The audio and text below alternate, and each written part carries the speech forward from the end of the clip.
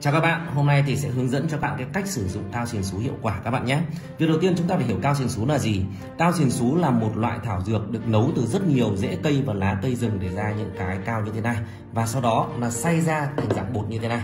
Đó. Và một hộp cao xiền xú nguyên chất này thì nặng 0,5 gram và chúng ta sử dụng được khoảng tầm 20 lần. Và các bạn lưu ý mỗi lần sử dụng các bạn chỉ cho một chút xíu bằng nửa hạt gạo như này thôi các bạn nhé. Đó, ok, các bạn nhìn này. Đó, nó chỉ bằng nửa gạo này thôi. Rồi, bước bước đầu tiên là chúng ta đổ ra tay này. Bước tiếp theo là chúng ta nhỏ một hoặc hai giọt nước vào đây.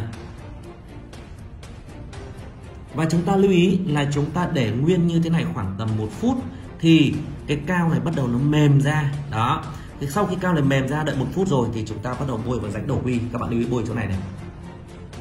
Được chưa nào? Đó, bôi vào đây và bôi vào đây thì chúng ta kéo cái da này kéo lên ủ. À, chúng ta sẽ ủ trong vòng từ 10 đến 20 phút do tùy từng cơ địa của mỗi người có người thì 10 phút đã tê tê nóng nóng tưng tửng có người thì 20 phút mới tê tê nóng nóng tưng tửng. À, thì khi mà bắt đầu xuất hiện hiện tượng tê tê nóng nóng tưng tửng thì bắt đầu các bạn đi rửa các bạn đi nhé rửa sạch chứ không chị em thổi kèn mà lại đắng mồm. Chị em phát hiện ra được chưa nào? Đi rửa sạch đi là yên các bạn yên tâm chiến đấu. Và với cao xỉn xú này tác dụng của nó là làm tê tê nóng nóng để nó làm giảm cái độ nhạy cảm không cần thiết cho tất cả những ai bị xuất tinh sớm.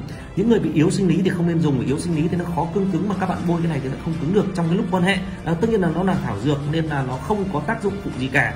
Nhưng những người yếu sinh lý không dùng được. Những người yếu sinh lý thì nên sử dụng cái viên hầu vương ngô ích này. À, hầu là đầu bảng của ừ, sinh lý nam rồi. Và một hộp này thì có 3 vỉ mỗi vỉ 10 viên là 30 viên. Chúng ta sử dụng trong 15 ngày là chúng ta cải thiện được cái tình trạng rối loạn cương dương hoặc là yếu sinh lý.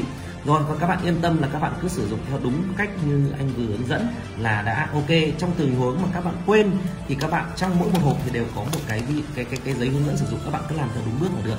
À, chúc các bạn à, kéo dài được cuộc yêu và chiều những người phụ nữ bên cạnh mình nhé.